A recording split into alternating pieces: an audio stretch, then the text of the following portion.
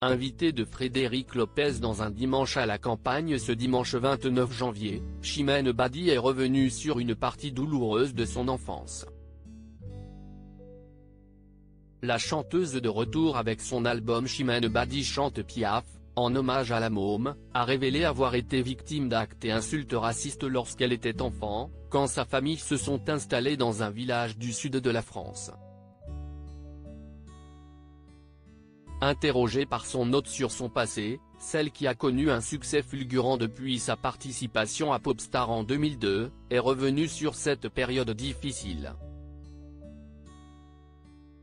Elle a alors raconté avoir vécu ses premières années à Bayas, un camp où tous les Algériens qui ont vécu, jusqu'à ce que ses parents décident de s'installer dans le sud de la France, mon père aspire à autre chose pour nous, il veut qu'on ait une belle maison, un grand jardin s'est-elle souvenue.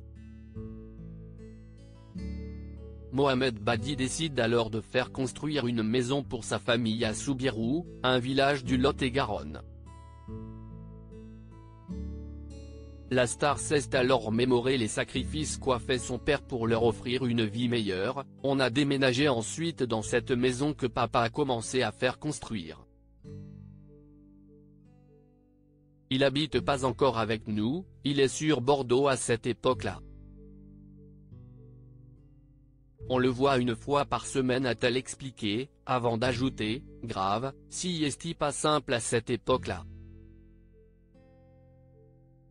Point ça bouleverse, ça marque, ça fait peur si la chanteuse de 40 ans est aujourd'hui une artiste reconnue, son quotidien n'a pas toujours été aussi évident. Lorsqu'elle débarque dans le Lot-et-Garonne pour entamer la vie que ses parents avaient toujours voulu offrir à leurs enfants, les rêves s'effondrent, on est la première famille de confession musulmane à arriver dans ce village a-t-elle précisé à Frédéric Lopez.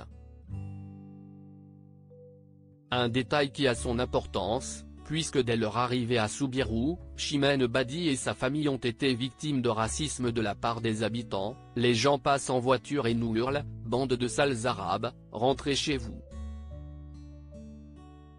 Je vois ma mère qui a peur, qui flippe. Parce qu'on reçoit aussi des coups de téléphone qui sont très violents. Des actes haineux et révoltants qui ont même contraint la mère de Chimène Badi à éloigner ses enfants, en les confiant à leur grand-mère. Mais cela n'a pas stoppé leurs agresseurs.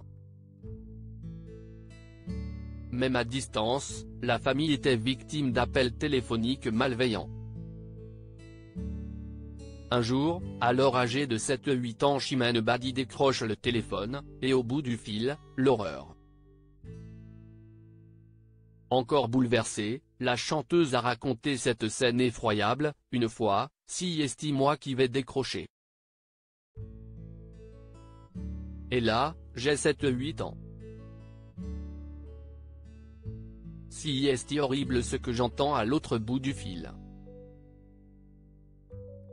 Ça bouleverse, ça marque, ça fait peur.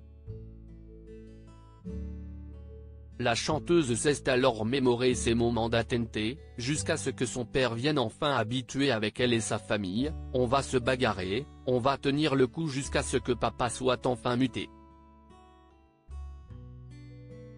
Ça a été un soulagement. Jusque-là, il fallait rester solide parce que, sa mère, elle est forte.